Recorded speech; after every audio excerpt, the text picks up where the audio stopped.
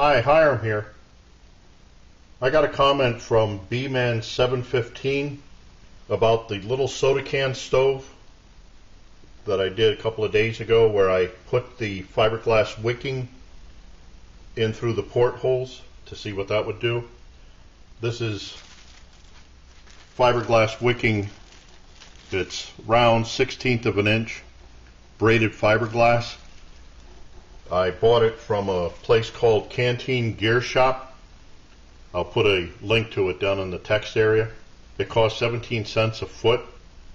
Pretty cool stuff. This is the same stuff that people use to wrap their uh, Heinie pots and Foster pots and stuff to keep their fingers from burning. I'm using it as an alcohol wick. Anyway, excuse me. What he said was, I'm curious to see how isopropyl 90% would work in that stove. Given the space between the wicks and the pot, he said it, he doesn't think that it'll smut the pots. I'm not too sure about that, but I thought I'd give it a try here today. So what I have is I have a half of a fluid ounce of the 90% isopropyl alcohol in there. The idea behind this stove is that I can set the pot right onto the burner. I don't have to wait for it to blossom or bloom. Let's go to camera two, light this.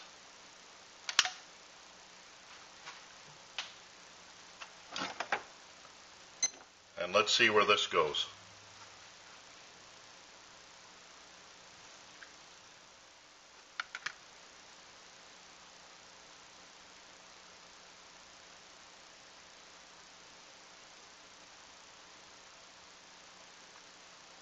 Note on this how the flames have yellow tips on them, just like they usually did with the isopropyl alcohol.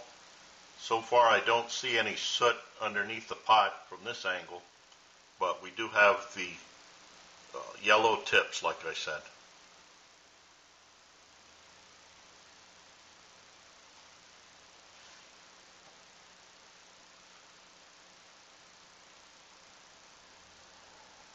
Now the flames are getting larger and now there is soot forming on the outside edges that I can see.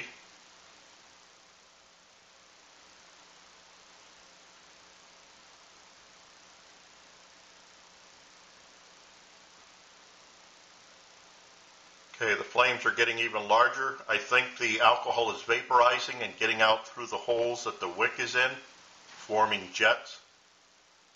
More soot is forming on the pot.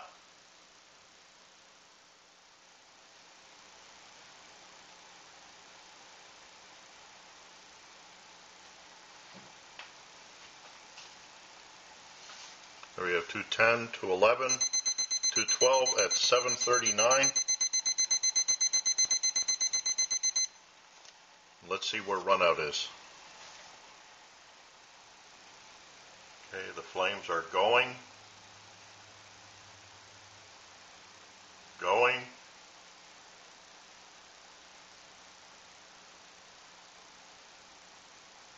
Still hanging in there.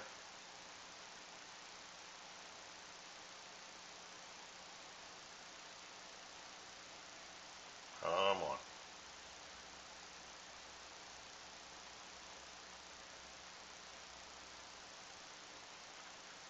Okay, let's call that dead at 9.30. 9 minutes 30 seconds. Okay. Surprised that it got the water to boil. But I think you can see it's all quite sooty.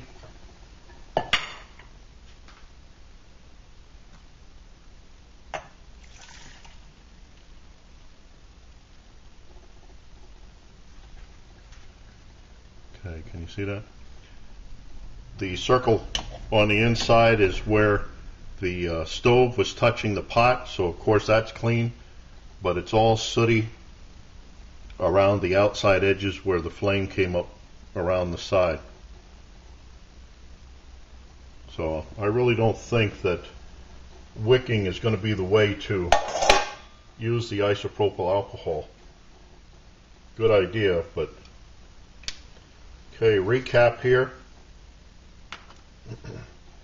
This is my little soda can stove where I added wicking to it.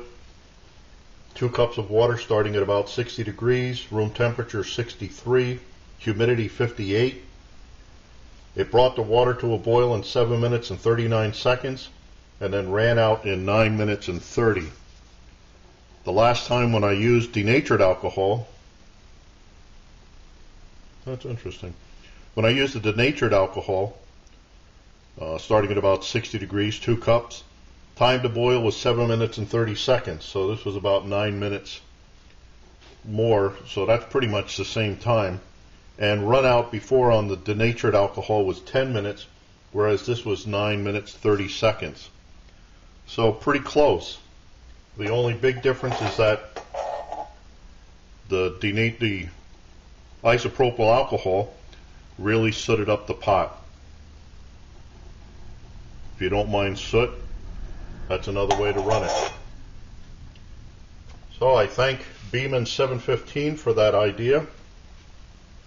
I always look forward to those. I look forward to everybody's input, their questions, remarks, helpful suggestions. And as always, watch for my buddy Max. Bye now. Know you've been a good friend, and that's in the thick and thin.